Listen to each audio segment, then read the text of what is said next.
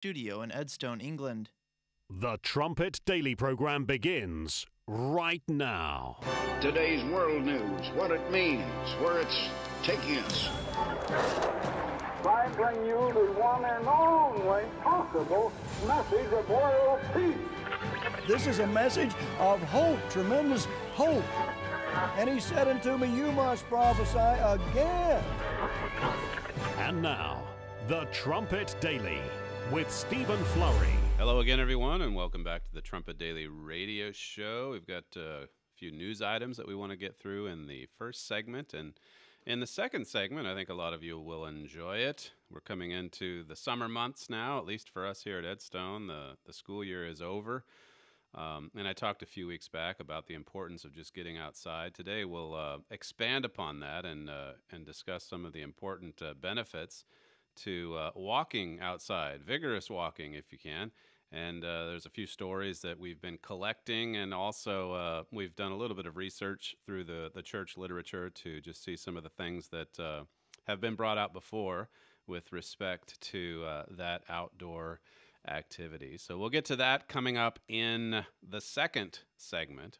Well, one of the big stories over the last uh, several weeks has been uh, the ongoing confrontation between the United States and uh, the Islamic State of uh, Iran. Several stories just over the last uh, few days have concluded that President Trump is uh, actually doing a, a pretty good job in confronting Iran, even though the, the U.S. presence in the region is dwindling. Still, there has been a lot of bluster back and forth. On Friday, Al Monitor, this would be uh, last week, it published an article. This is the Lebanese paper, I believe. It published an article uh, titled, Will the Trump administration abort Iran's land bridge to the Mediterranean? And this is something that we've uh, written about a lot at thetrumpet.com. This push by the King of the South, by Iran, to create this land bridge that goes from Iran all the way through to the Mediterranean Sea. This uh, report from Al Monitor it talked about Iran's ambitions to have a base on the Mediterranean, and uh, uh, it brought out how that America is in action in uh, in the civil war, the Syrian civil war under President Obama. It really did clear the way for Iran to uh, achieve a lot of its uh, objectives in creating this land bridge the article talked about how Iran has gained control of a key border crossing between Iraq and, and Syria, and how that this was crucial for that land bridge. Notice this quote from Al Monitor. It says the Trump administration will have to soon decide whether it can live with a managed Iranian land bridge to the Mediterranean or decide at what cost uh, it will be ready to abort it. It then goes on to talk about some of the steps that the Trump administration is taking to prevent this from happening. Now, on the same day from last week, this was from Friday, Eli Lake at uh, Bloomberg, he too had some uh, some praise for the Trump administration on its uh, Iran uh, policy, saying that John Bolton is uh, exactly what President Trump needs. He's been criticized, of course, Mr. Bolton He's been criticized as uh, one that's trying to start a war with Iran. And in Eli Lake's piece, he talks about how that you can see this argument coming from uh, from Democrats and the mullahs. They're right in sync. And what does that tell you about the Democrats these days? The fact that uh, they have more in common with the leaders in Iran than they do with the Trump administration. Both of them saying that John Bolton's the warmonger, that he's trying to drag America into another conflict. This article from Eli Lake, it says Iranian uh, Foreign Minister uh, Zarif's strategy is transparent. Blame Bolton to take the focus off Iran's own escalations. John Bolton's the trouble, not, not what Iran's doing. That's been Zarif's strategy. That's the Democrat strategy. They're on the same page says Eli Lake. This is from his uh, his article. He makes the point, by the way, that uh, having Mr. Bolton on board it makes uh, war with Iran less likely, not more likely, because you need to stand up to this kind of aggressor. The article says Iran has historically attacked U.S. targets with its proxies when it assesses it will not face direct military reprisals. They attack when they know they're not going to get hit back. And that's what they've done in recent years. It says Iran used proxy forces to lay roadside bombs during the U.S. war in Iraq, for example, because its judgment at the time was that Bush lacked the support in Congress or with the public to respond with a, a strike inside Iranian territory. And uh, Lake says, in retrospect, this assessment was correct. And so he gives some examples from recent history showing that this is when they lash out. This is when their proxies strike you know, we made this point to some degree when we talked about Israel last week and the fact that Israel, once Gaza stri- started to fire all those missiles a couple of weeks ago, they didn't do anything to really respond to it. They wanted to get a ceasefire just as quick as possible. And like that one article brought out, we read it to you uh, on a previous program. All the enemies of Israel, they're watching. They're watching in, uh, in Lebanon. Hezbollah's watching. Iran's watching. And they certainly are. It says here at the end of uh, Lake's piece it's fair to point out the risks. It's irresponsible to allege some kind of conspiracy to trick the U.S. into war. It's understandable, Lake says, why Zarif would push this nonsense, less so why any Democrat uh, would. The Democrats, uh, they need to be asking themselves, what, what side are they on? Yesterday in the, the National Review, it had an article saying that the U.S. is outplaying Iran in a regional chess match. This is a bit from that article. In the complex game of wits being played between the Trump administration and the Iranian regime, it appears that the U.S. temporarily checked Iran's usual behavior. Notice the use of the word temporarily there. For a, for a short time, at least it seems, the U.S. pushing back is having some, uh, some impact. It says the U.S. gained the upper hand in its recent escalation with, with Iran by playing Iran's game of bluster and support for allies on the ground. It says if Washington wants to continue to keep Iran in check, it needs to keep up the pressure. And that's why Mr. Bolton is receiving praise from Eli Lake because he's applying pressure. And the United States, to some degree, is experiencing some somewhat of a resurgence in the Middle East. It's temporary. But when you think about, my father's talked before about the Psalm 83 uh, prophecy, the alliance, and how that Syria is going to be aligned with Europe, not Iran. Now we know Iran's going to continue to grow or gain power. It's going to keep pushing. It's going to keep pushing against Europe. It will eventually establish a foothold in the, the Mediterranean region, but it's not going to do it through Syria. Not if that, uh, if you can believe that that alliance in Psalm 83. How the Syrian crisis will end. That's a, that's the article my father wrote a few years ago. I think back at the start of that Syrian civil war. Syria is going to swing into alignment with Europe. So we know that prophecy is going to happen, but perhaps uh, the pressure that the Trump uh, administration is putting upon Iran now, maybe it is going to uh, not necessarily interfere with the Daniel 11 uh, 40 prophecy, but it may help to shake things up for that Psalm 83 prophecy.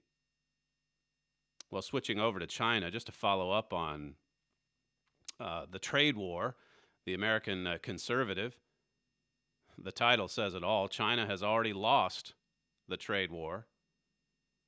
It says, respecting American consumers, they might feel the pinch for a while, but it makes the same point that some of the other articles we read last week brought out that ultimately uh, Beijing is the one who needs our surplus more than we need theirs.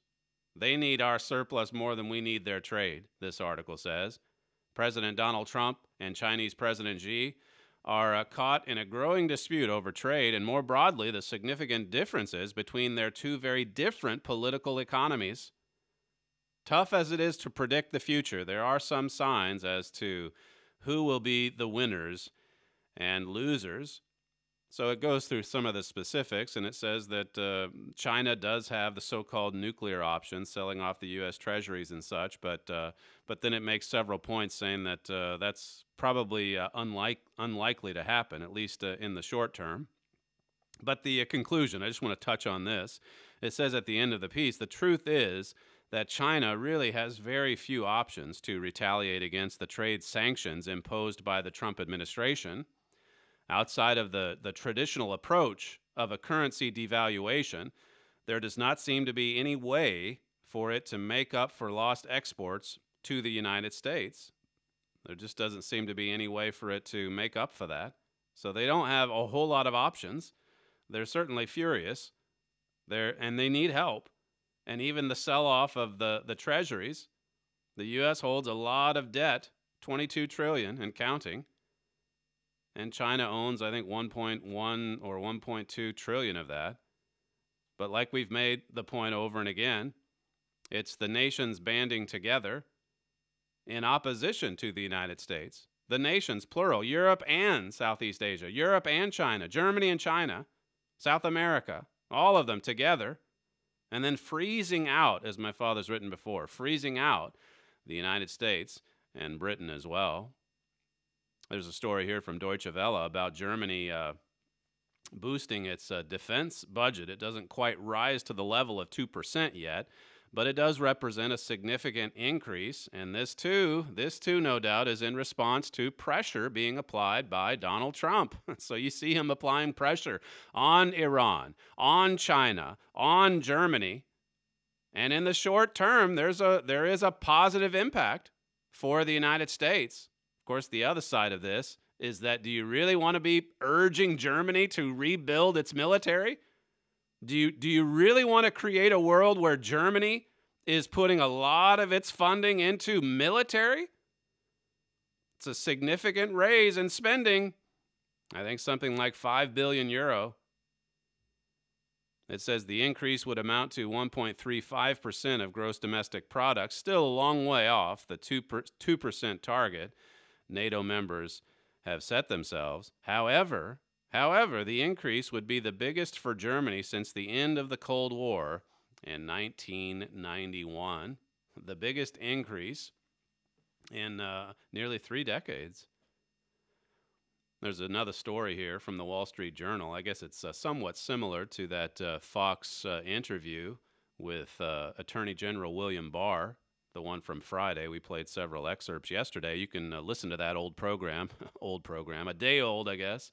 You can listen to that at the trumpet.com uh, website. We're also streaming these, by the way, every day now on YouTube. So uh, there is a, I think, a larger audience now listening to this program just because um, of the different platforms that we're making use of. So it's good to see some uh, some pretty good numbers with respect to our listening audience. But this article from the Wall Street Journal it says Barr says he is fighting for the presidency, not Trump. An interesting article. It talks about some of his history working with Ronald Reagan's administration and then George H. Walker Bush, um, and then it it it even gets into. Um, I guess he supported what was it, Jeb Bush in 2016 and then when his uh, candidacy kind of flamed out, then uh, he switched over to lend support to, or at least to vote for, uh, Donald Trump.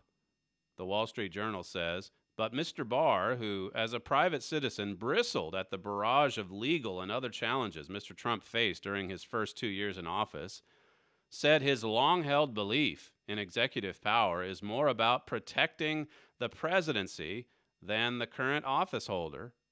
He's, he's, he's concerned about the office of the presidency, not so much Donald Trump. And then it quotes Mr. Barr. This is an interview that he had with the Wall Street Journal. I felt the rules were being changed to hurt Trump.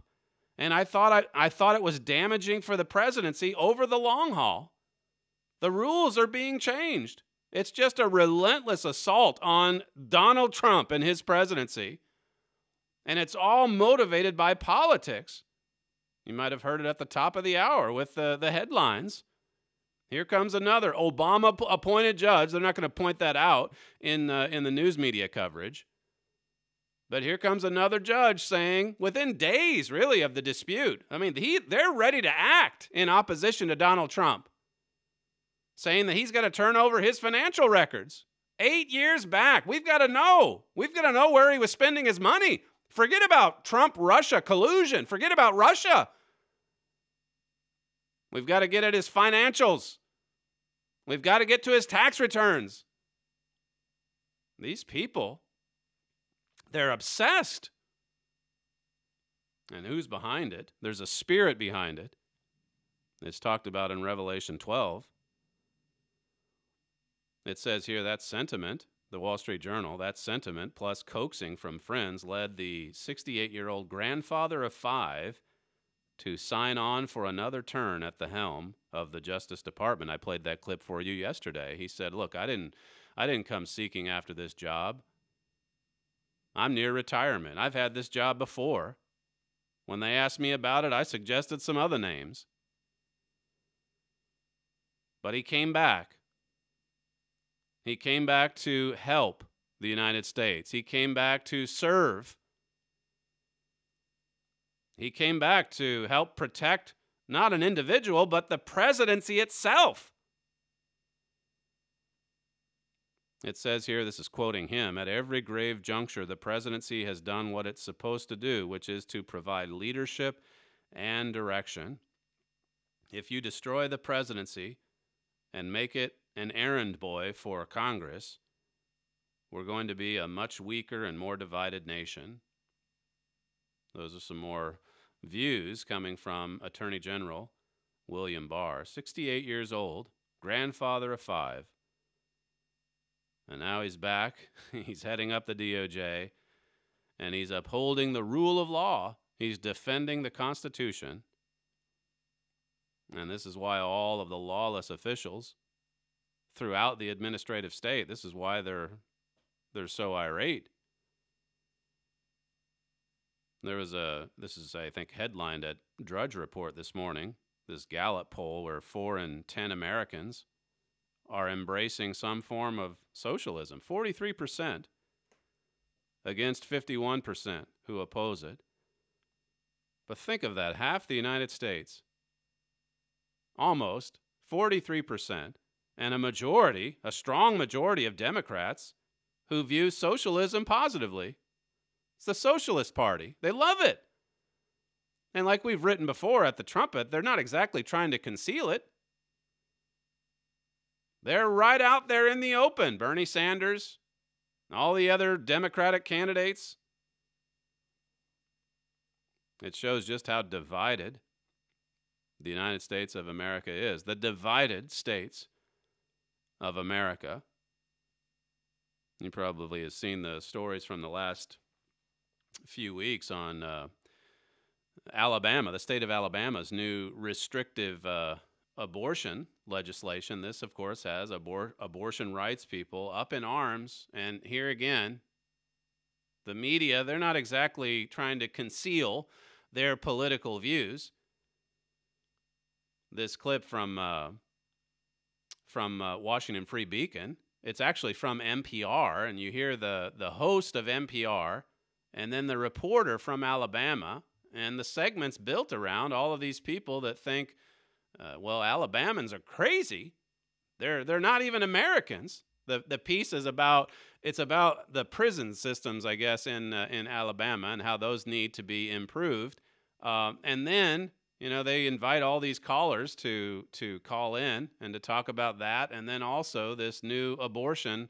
Uh, legislation. Just listen, listen to the exchange here, and then the feedback that these hosts on NPR. This is the government network, National Public radio. Clip one. So uh, you can imagine our, our email and our Twitter. It's all blowing up right now. Lots of comment. Uh, Erin wrote us on Facebook. She says, I sure do hope someone asks about how Alabama officials can square their alleged reverence for life with this report.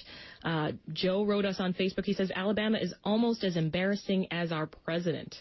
Any comments on that, Andrew? Well, it's a familiar. Uh, I think it's uh, a familiar position for, for people in Alabama. They're they're not. Uh, they're aware of how parts of the rest of the country sees the state.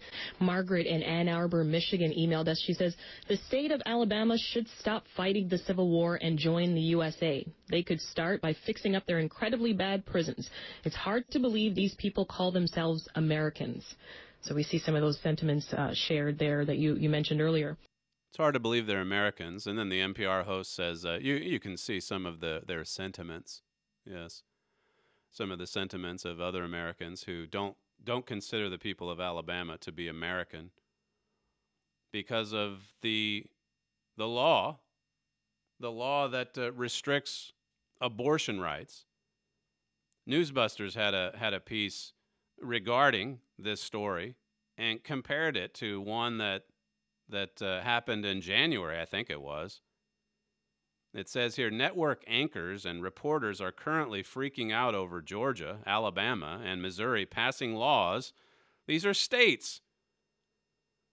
These are states with their representatives drawing up legislation. And if that's not fine with the people, they can be voted out. This is the way it works in the United States. But these network anchors and reporters, like at NPR, they're furious over Georgia, Alabama, and Missouri passing laws designed to protect the rights of the unborn, having already devoted almost an hour. these are the main networks. They only have the 30 minute broadcast each night. I guess it's about 22 minutes in total when you take out the commercials.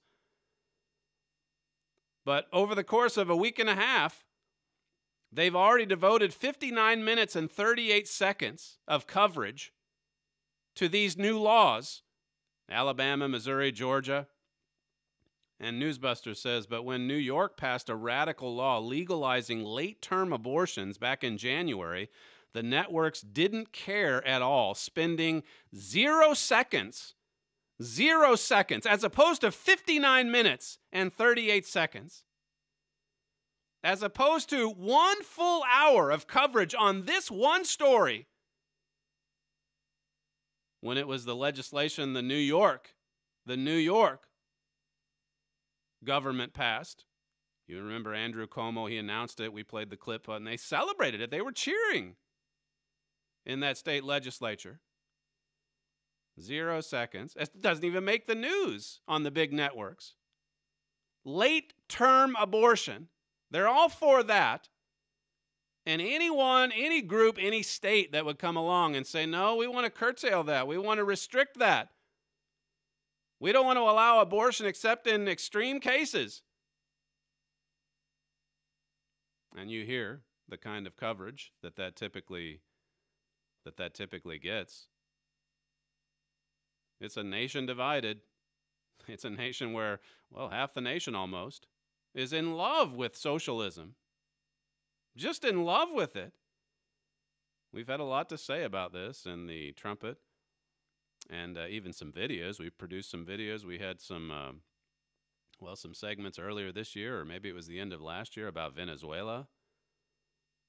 There's the example. It's out there on display for all to see. This is where it leads.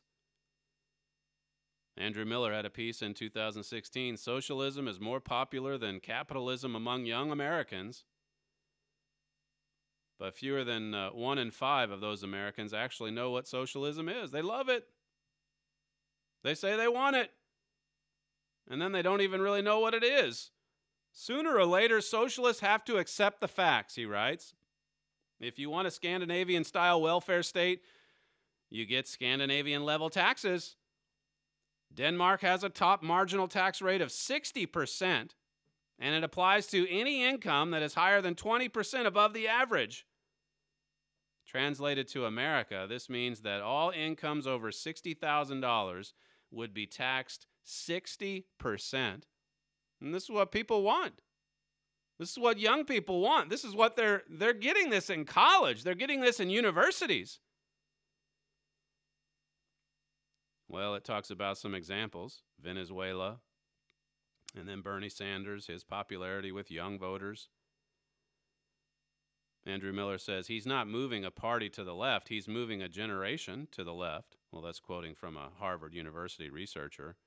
Whether or not he's winning or losing, it's really that he's impacting the way in which a generation, the largest generation in the history of America thinks about politics. One final uh, bit here. There's a great danger here, Andrew Miller says. Remember the line between democratic socialism and authoritarian socialism is thin. Most democrat socialist revolutions throughout history progress to authoritarianism. Many of those have become full blown dictatorships. That's what so many want. That's what they want in the Democrat Party. And that's why they're behaving the way that they are. Because they want power. My father brings this out in the Saving America article. They're desperate to return to power. And so they're pulling out all the stops. They're doing anything and everything that, that they can. McGahn's got to go back and testify. We've got to get the financials. This judge is, uh, look at how many judges in the United States are try, trying to thwart the efforts of this administration, whether it's illegal immigration or whether it's the, the, the tax returns, all of this. It's just nonstop. It's never ending. Every day, Donald Trump has to wake up to this nonsense. Every day, he has to fight against it. Every day. No wonder a 68 year old grandfather of five came out of retirement or partial retirement because he was just appalled at what was happening, sickened by what was going on in Washington, D.C. He saw how the rules were being changed. They want to change the rules, they want a double standard. They don't want the same standard applying to them you have Barack Obama in power, and if anyone goes after his financials, his business dealings, well, you know what the reaction in the media would be. But they get someone in office that they don't like, their opponent, and you see the way they operate. There's a spirit behind it. I won't take the time to go through Revelation uh, 12. We've gone through it before. But Satan has been cast down. He, along with his demons, they're confined to this earth. And that's why we see a nation, the United States, the world's greatest superpower, so deeply, deeply divided. You're listening to Stephen Flurry, and this is the Trumpet Daily Radio Show. If you'd like to email us some of your feedback, you can send comments to td at kpcg.fm. We'll be right back.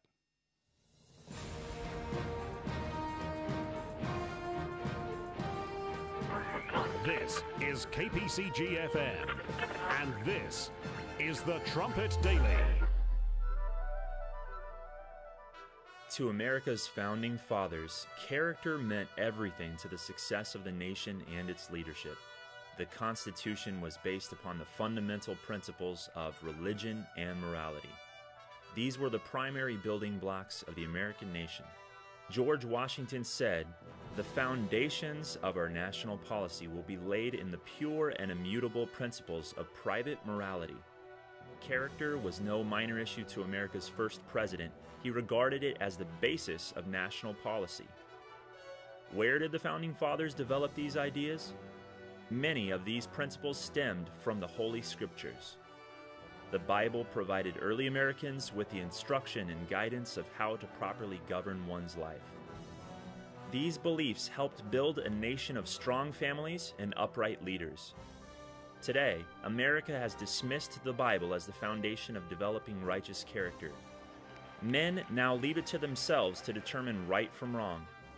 Where has the rejection of biblically based principles led this nation? There is a cause for these effects.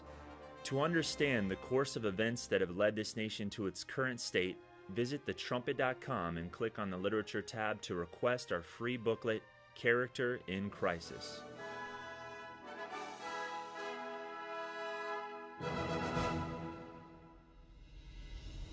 From the Philadelphia Church of God campus in Edstone, England. This is the Trumpet Daily Program with Stephen Flurry. Well, I had to put this uh, segment off for a few weeks until I got back into walking mode before the uh, spring holidays. Um, I had, I think, three, four Sundays in a row where I was uh, really ramping it up each week. I think I got up as high as five miles, a five mile walk around this beautiful area surrounding Edstone. And then the travel, and then getting back from that, as uh, it is for so many of you, it's always uh, difficult to keep it as uh, part of the routine. But I did get out recently. I guess this morning I had a nice, not as long of a walk, but I had a nice walk. If you count our golfing excursion last week, Sam, that was what, maybe two miles, three miles? More than that, he says. I beat him in golf, by the way. We just played nine holes, but uh, that's the only sport that I think I can uh, come out on top against our uh, very fit producer in the booth. In any event, as you know, you've got to start somewhere. And as you get older, as you uh, advance in years, it's not as easy to hit the gym and to work out with heavy weights. And uh, you certainly don't want to just jump into that if you've been away for it from it for a time.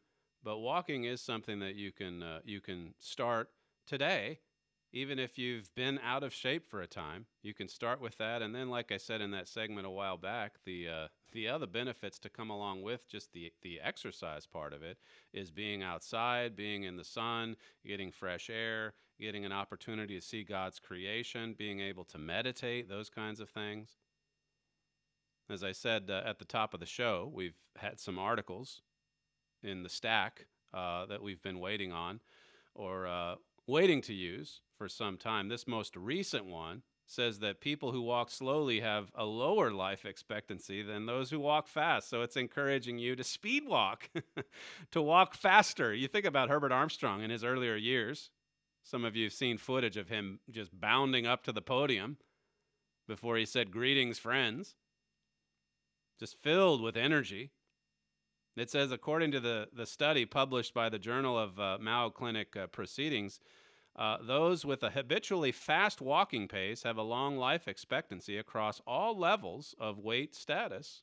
So even if you're heavier, if you're accustomed to walking fast, now I don't want to discourage you right off the bat here because um, I think it's worth noting that slow walking is better than no walking. If you're not walking fast, if you're not walking at all, you can certainly take this opportunity, particularly as we come into the summer months, as I said at the top of the show, to just spend more time outdoors, to spend more time walking.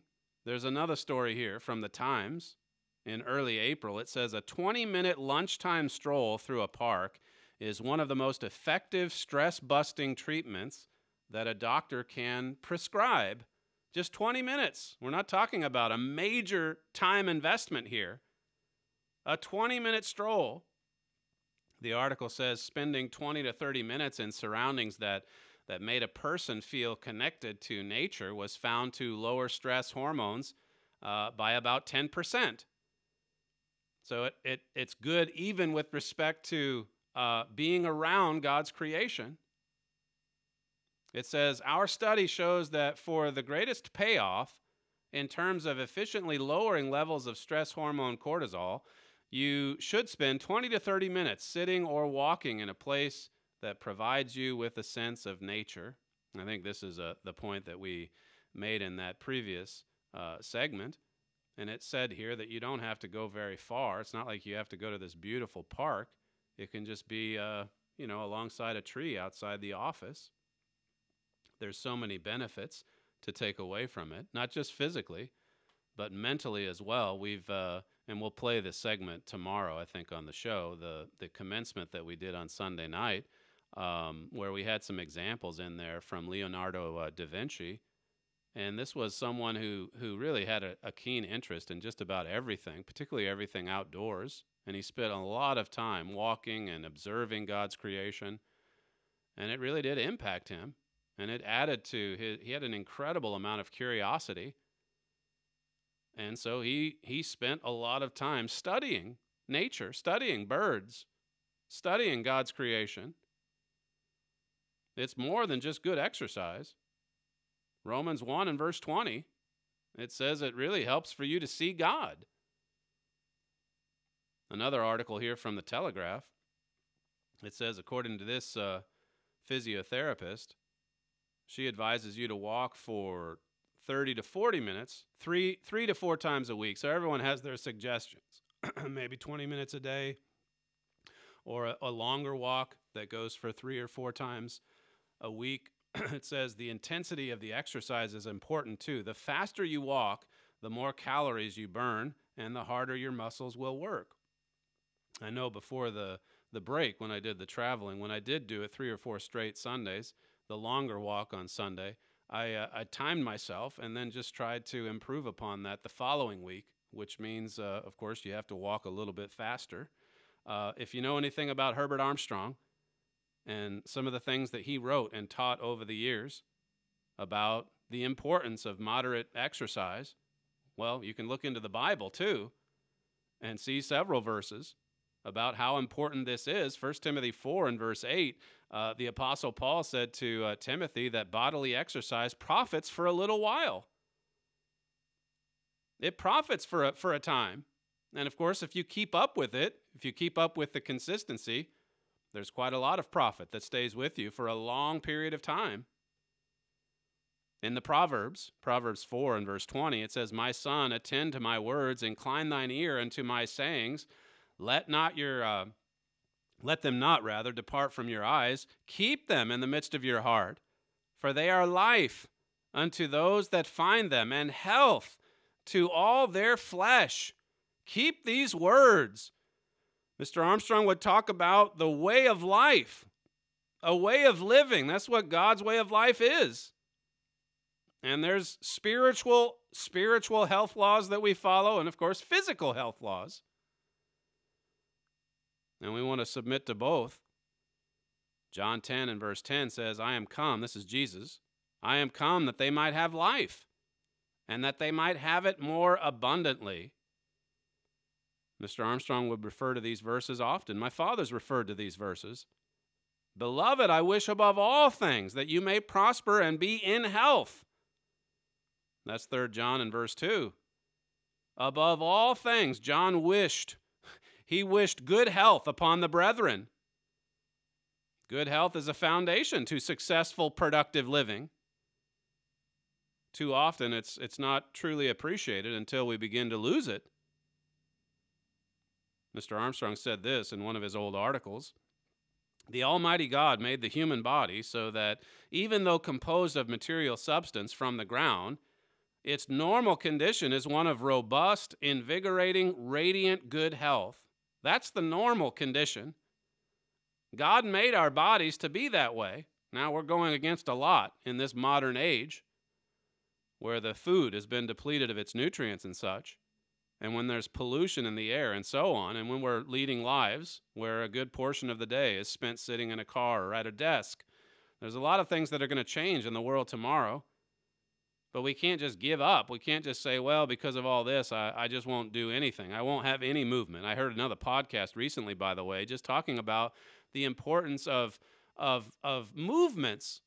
Movements like when you were a child, when you'd hang on things or crawl or, or, or stretch or do something or sit in, a, in a, a position that would be a little awkward maybe for an adult. And this was someone that was also making the point that as you get older, you may not, he said there's nothing against the more strenuous uh, exercise workouts. But if you can just get out and move the body, there's a lot to be said for that. In The Missing Dimension in Sex, Mr. Armstrong says God's laws were set in motion to give us happiness, peace, security, and plenty, and thrilling, radiant joys. God gives us his laws, physical and spiritual, both of them, because he loves us, because he wants us to lead thrilling, radiant lives. He says God's laws are the gift of his love to us. God wants us to enjoy the blessings they make possible. This is the plain and rational truth. Why has a rebellious mankind insisted on being willingly ignorant of that basic fact of life? You look at people today and the way that they're living, there's obviously a lot of, of heartache and tragedy because of, of breaking God's spiritual laws. But look at the lifestyle so many lead physically. It's not a, a quality of life, not like it should be. Mr. Armstrong had his ups and downs. He through the late 60s and all through the 70s, he was traveling the world. Sometimes out of Pasadena for 300 days of the year. And you can look at some of the old pictures from the 60s and see that uh, he had a, a period there where he was heavier than he wanted to be. His wife died in uh, 1967. And shortly before she died, he wrote to the church. This isn't a coworker letter, but he he said that he had been uh, in need of making changes in his life, and that her illness had really impacted him.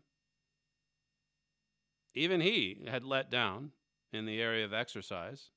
You can see that in the way that he talks in that 1967 letter. This is from March uh, 2nd.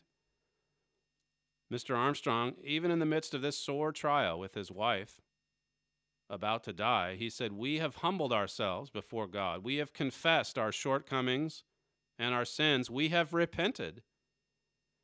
I have changed my daily routine, my entire life. He says the fasting and prayer has resulted in almost completely removing all signs of the heart condition or high blood pressure for four years I have had to live knowing I could drop dead at any second. This is in 1967. He says, Now pounds have been taken off. Now I can take longer, more vigorous walks. He had to start somewhere, just like we all do. And I imagine he started slowly at the, at the beginning. And then as he got stronger and as he shed a few pounds, he was walking faster, more vigorously. He mentions in this letter that he started to walk three times a day. He made time for it. This was a busy man, busier than you and me, I imagine. And he made time for it. It makes you feel kind of guilty how many times we've made excuses for not moving, for not acting. He says, now, no matter how many conferences are scheduled, no matter how pressing some urgent executive responsibility is, I'm going three times or more a day to my prayer room God has blessed me with, there to commune with Him and to keep closer to Him. He says, My life from now on will be far more active. And that new routine is already in effect and becoming well established. Brethren, he says, there has been an about face. I'm not ashamed to lead off in this. I'm not ashamed to set you the example. Well, he got to the end of it and asked the brethren, Are you going to join me in this endeavor? Are you going to do the same? It was quite the challenge. That's not the only thing that he wrote over the years. That blistering 1967 letter. He had a, a piece in the uh, Youth 86 magazine. This is right around the time of his death. And he lived a long, healthy life, as you well know, 93 years of age. He produced Mystery of the Ages in the last year of his life. And this is what Mr. Armstrong said to the young people, the youth in the church. He said, Consider now what your life ought to be. It should be healthy, based on a right diet, sufficient sleep, and normal but not excessive exercise. You should be vigorously, dynamically alive, physically and mentally awake to the real purpose of human life. That was his mes- message for young people. I've told some of our young people from time to time, just uh, in uh, comparing today, it's a different generation, but comparing today with the uh, the time period I went to college in, and it does seem like even younger people are experiencing more health trials, more sickness, more disease, more injuries, at least than, than what I remember from back in the late 80s, early 1990s. And why is that? Well, we are degenerating spiritually, physically, in every way. We're degenerating as a society. And if we're going to resist against it, we've got to do our part. We've got to do what Mr. Armstrong challenged us to do in 1967.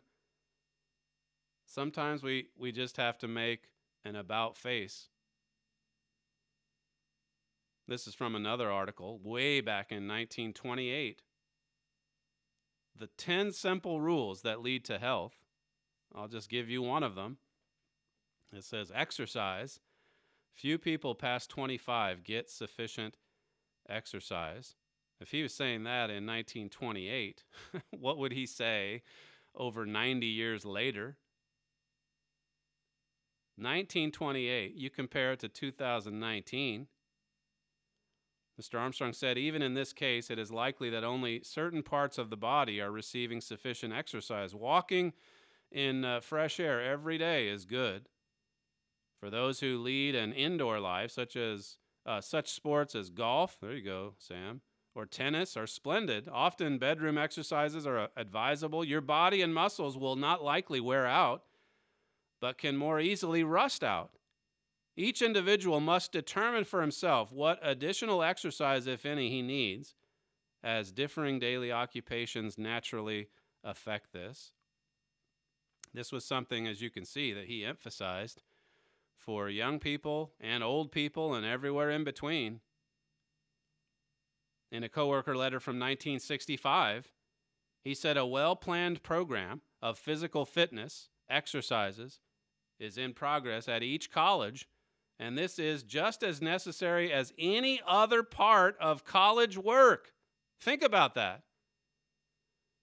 God's colleges have been raised from the ruins. We just had our graduation ceremony for both campuses on Sunday. And here's Mr. Armstrong saying the physical fitness program. This is something that, that the young people could, could probably take for granted. Well, PE, I'll just hopefully I can get through that in the first two years and be done with it. Mr. Armstrong said it was just as necessary as any other part of the college work. And then he said this How do you suppose I have been able to carry on this energetic, exhausting grind these past 38 years? He says, I've had to watch my health, my diet, and keep physically fit. He set the example, a fine example at that and you look at the, the course of his life, his long life, 93 years, how much of that? Look at how much God was able to use him because he did look after. He had his momentary setbacks here and there, but on the on the long haul, he looked after his physical life. That example we've noted so many times before, the the prayer rock. It, you know, it's easy to focus in on the fact that he was praying on that rock every day before he went off to that campaign. That rock that was on a hill behind the Fisher uh, farm. But he says in the autobiography, you can see it on page 412. He said that he came upon that, that rock when he was uh, running over the hilltop for exercise. He was out getting in his sprints. And then he saw this rock and thought, well, this is a good, this would be a good place to pray a good place to get outside and to pray in God's creation. To pray in privacy, yes, but right next to God's creation, the material earth. Well, it was the perfect size, this rock. And that rock is now uh, on our uh, headquarters campus in Edmond, Oklahoma. This last piece that I'll refer you to, it's one in which uh, Mr. Armstrong did refer to that verse in 1 Timothy 4, verse 8, about how that there is uh, a profit in uh, regular exercise. This too is from the Youth magazine from 1981. But Mr. Armstrong says here our physical bodies do need some exercise, but not the overabundance many athletes give them. So, a point that he makes here is that you don't have to overdo it. You don't have to over exercise, but we all need some. We do need a little bit at least. He said in the article, God raised me up to be his apostle. He's giving an example here, and to teach you his truths and to give you wisdom. I'm not 38 like Muhammad Ali. I'm just a real young man compared to him, but I'm past 88. And I'm still running strong, he says. in what God called me to do and doing more work now than when I was 28 or 38. That's, that's what we're aiming for here. We want to get up into our 60s, 70s, even our 80s and produce to do even more work than we did when we were younger. It's just the opposite in this modern age where the older you, get, you're supposed to slow down. Now, of course, physically, the, the proverb says the glory in a young man is his strength. The body does slow down in a sense, it does lose some of its strength. But we can reverse some of that if we just put in a little time and effort daily. He says, God sent me to be an example for you who are growing into mature manhood and womanhood. Sure, I've had bodily exercise, a little, but not the over amount of a professional athlete. He exercised a little, and a lot of what he did, it was walking, vigorous walking, outdoors. Finally, it says here, yes, even though I didn't really know God then, he talked about some of his experiences with sports earlier in his life before he came into the church. He says, even though I didn't really know God then, I think He kept me from going too far into sports. If Jesus were on, if Jesus were to be on earth today, as he was more than 1950 years ago, you may be sure he would not go into professional sports. That's the point he makes in the, the piece here. Do you want to be a pro athlete? a pro athlete, and, and Mr. Armstrong in the Youth magazine basically says, look, there's a, a lot to be said for the pursuit of excellence that you see in professionals. And there's a lot to be said for exercise, moderate exercise. But we, re- we really want to be passionate about our spiritual goals. And we need to see, too, how that the two are related the physical and the spiritual. Let's just conclude over in uh, 1 Corinthians. 1 Corinthians chapter 6 some well-known well-known verses here at the uh, the end of this chapter where Paul says in verse 19, "What know you not that your body, your physical body, he's talking about, your physical body is the temple of the Holy Spirit which is in you, which you have of God, and you are not your own." Verse 20 says, "For we are bought with a price." Coming into the church, we're, we're not our own. Jesus Christ sent his son to be sacrificed for us. He paid the ransom. We've been bought with a price. And what a heavy price it was. Therefore, verse 20 continues, therefore glorify God in your body and in your spirit, which are God's the physical body. Glorify God in your physical body as well.